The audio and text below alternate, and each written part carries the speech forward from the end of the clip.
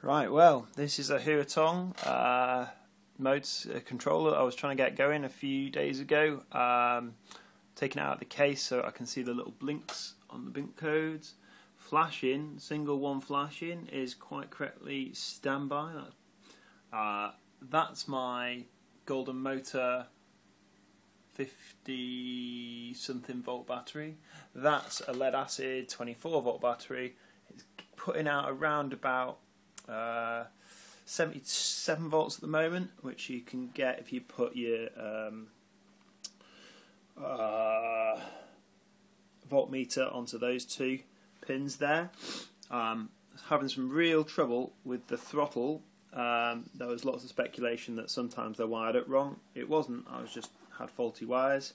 I've been really lucky again with um, my phase wire connections. Uh, I'm pretty sure yeah, I've wired it the same as a Golden Motors connections, and um, as you can see, if I just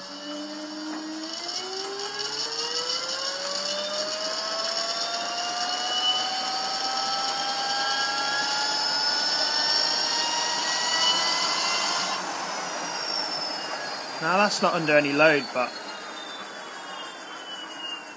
that's going to be scary. Um, pretty sure that motor's going to be hot inside. And what you can hear there is the rasping of the disc brake because the caliper's not set up quite right. But um, wow, pretty chuffed with this at the moment. That's a bit violent. Like that's a really aggressive. Uh...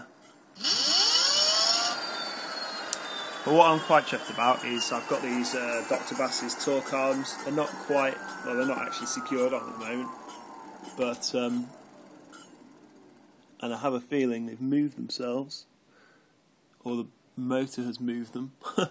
anyway, um, that's amazing. So it's my little video to show cheap controller, hashed up two separate uh, batteries because I haven't got my lipo yet from Hobby King. But uh, yeah, pretty damn good. Uh, Thanks for watching.